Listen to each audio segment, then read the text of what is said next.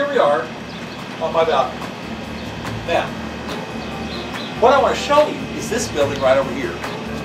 That church came to us from Nova Scotia, and it was originally brought here by Tom Lee. Tom Lee was an artist who lived in the Paseo for a long time. He was actually really involved with the Paseo Arts Festival for a long time. But he wanted to have his studio down here, and so he purchased this building.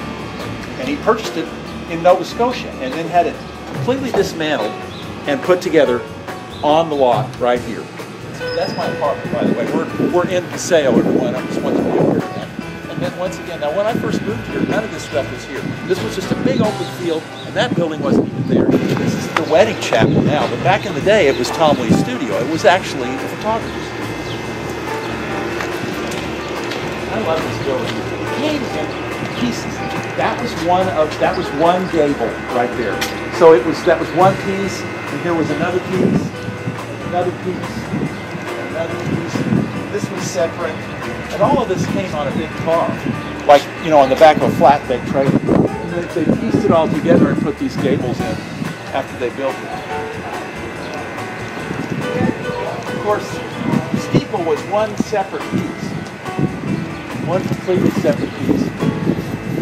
Now, the folks that built this, once it got here, were a couple of guys, Bruce and Wayne Buckner. And Bruce and Wayne Buckner are these two amazing craftsmen who did all the interior work for this building and really nailed it. Tom Lee, famous festival artist.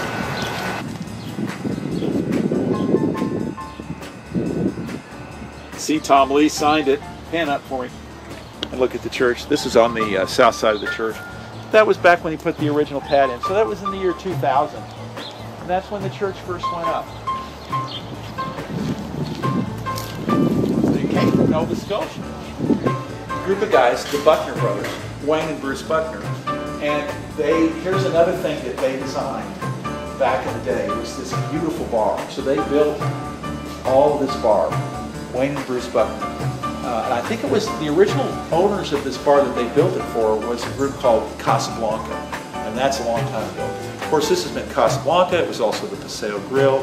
It was also Galileo's, and uh, now it's Picasso's. Thank you all for joining me, and we'll see you on the street.